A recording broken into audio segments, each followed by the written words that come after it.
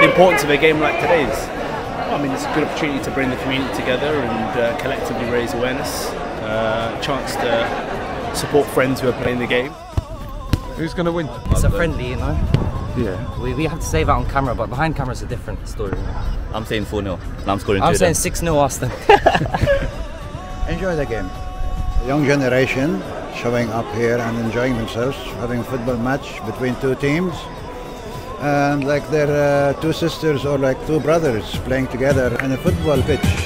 على عهدي على ديني على أرض تلاقيني أنا لأهلي أنا فديهم أنا دمي فلسطيني فلسطيني فلسطيني أنا دمي فلسطيني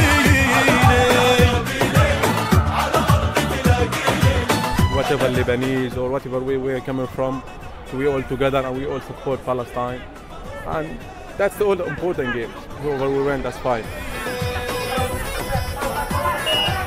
Been a bit heated the first half, to be fair. Um, quite a few fouls going in, decisions not going our way. Boys are a bit heated today, so this game's quite important to us. We're trying to keep mutual respect between both countries, keep everything clean between us, and obviously show love at the end of the game.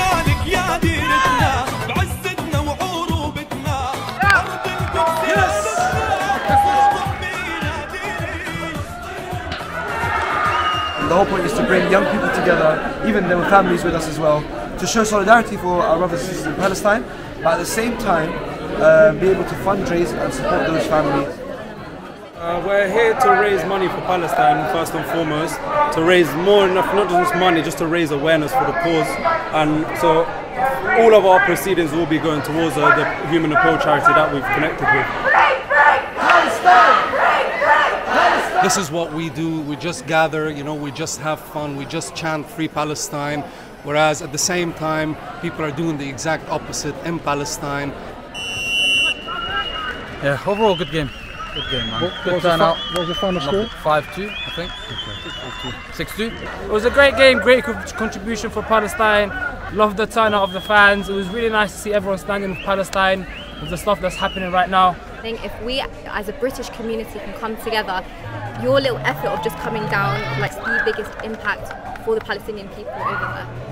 events like these and community awareness like this, it, it just builds that awareness, and it's important that we keep up that sort of um, that, that that progress. Just keep vocal. I feel like this time round the perception has changed in the, in the media, and uh, I think people are a lot more aware that this is not a tit for tat, but uh, you know, a very one-sided oppression.